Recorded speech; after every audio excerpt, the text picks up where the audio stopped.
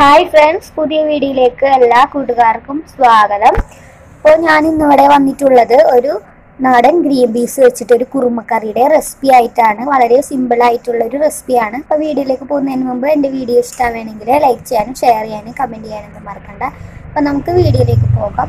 അതിനായിട്ട് ഞാനിവിടെ നാടൻ ഗ്രീൻ പീസ് എടുത്തിട്ടുണ്ട്. ഇതിപ്പോൾ കടയിലൊക്കെ വാങ്ങാൻ കിട്ടും ഇതേപോലെ ഗ്രീൻ പീസ്. ഇതിൽ നിന്ന് ഇത് അടർത്തി കഴിഞ്ഞാൽ നമുക്ക് ഇതിൽ നിന്ന് ഗ്രീൻ പീസ് കിട്ടും.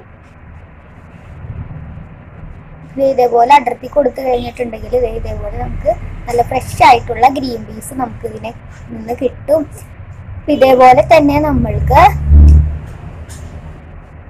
എല്ലാവരും ഒന്ന് ചെയ്തെടുക്കണം. അതിൽ നിന്ന് ഗ്രീൻ പീസ് നമുക്ക് എടുക്കണം.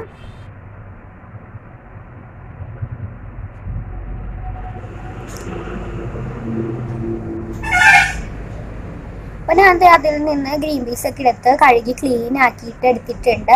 ഇനി നമ്മൾക്ക് ഇതിലേക്ക് ആവശ്യമുള്ളത് കുറച്ച് ഉരുളക്കിഴങ്ങ് അതുപോലെ തന്നെ കുറച്ച് ക്യാരറ്റ് പിന്നെ കുറച്ച് പച്ചമുളക് ആണ് ഇതിലേക്ക് ആവശ്യമുള്ളത്. ഇനി നമുക്ക് ഇതെങ്ങനെയാണ് തയ്യാറാക്കുന്നതെന്ന് നോക്കാം. അപ്പൊ ഞാൻ നേരത്തെ എടുത്ത് വെച്ച ആ ഗ്രീൻ പീസ് ഒരു കുക്കറിലേക്ക് ഇട്ട് കൊടുത്തിട്ടുണ്ട്. അതിലേക്ക് നമ്മൾ നമ്മൾ നേരത്തെ എടുത്ത് വെച്ച ഉരുളക്കിഴങ്ങും ക്യാരറ്റും പച്ചമുളകും ഇട്ട് കൊടുത്തിട്ടുണ്ട്. ഇനി നമ്മൾക്ക് ഇതിനെ ഒന്ന് വേവിക്കണം കുക്കറിൽ വെച്ചിട്ട്. ഇതിലേക്ക് അതിന് മുമ്പായിട്ട് കുറച്ച് മഞ്ഞൾപ്പൊടി ഇട്ട് കൊടുക്കുക പിന്നെ ആവശ്യത്തിന് കുറച്ച് ഉപ്പിട്ട് കൊടുക്കണം.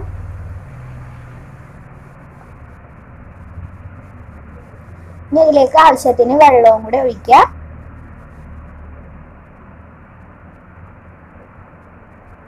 അതിനുശേഷം നമ്മൾക്ക് ഇതിനെ വേവിക്കാനായിട്ട് വെക്കാം. ഇനി നമ്മളിവിടെ കുറച്ച് തേങ്ങ എടുത്തിട്ടുണ്ട് ഒരു അര മുറിയോളം തേങ്ങയാണ് നമ്മൾ ഇവിടെ എടുത്തിട്ടുള്ളത്. ഇനി നമ്മ ആ ഒരു തേങ്ങയെ നന്നായി മിക്സിയിലിട്ട് അടിച്ചെടുത്തിട്ടുണ്ട്. ഇപ്പൊ നമ്മൾ നേരത്തെ ഇവിടെ വേവിക്കാൻ വെച്ച ഉരുളക്കിഴങ്ങും ക്യാരറ്റും ബീൻസും ഒക്കെ ഇവിടെ വെന്ത് വന്നിട്ടുണ്ട് നല്ലോണം. ഇനി നമ്മൾക്ക് അതിലേക്ക് നമ്മൾ നേരത്തെ അടിച്ചു വെച്ച തേങ്ങയുടെ അരപ്പ് അതിലേക്ക് ഇട്ട് കൊടുക്കാം.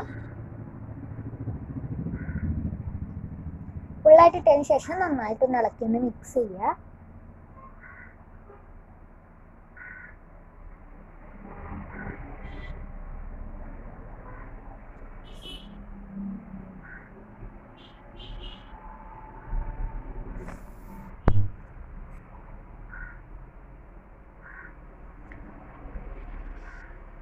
നന്നായിട്ട് ഇളക്കി മിക്സ് ആയതിനു ശേഷം അതിലേക്ക് നമുക്ക് കറി മസാലപ്പൊടി ഇട്ട് കൊടുക്കാം.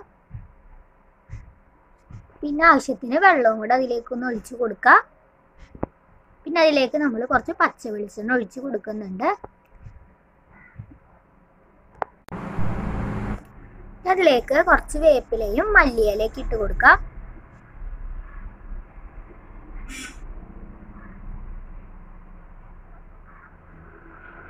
എന്നിട്ടൊന്നും കൂടെ ഒന്ന് മിക്സ് ചെയ്ത് കൊടുക്കുക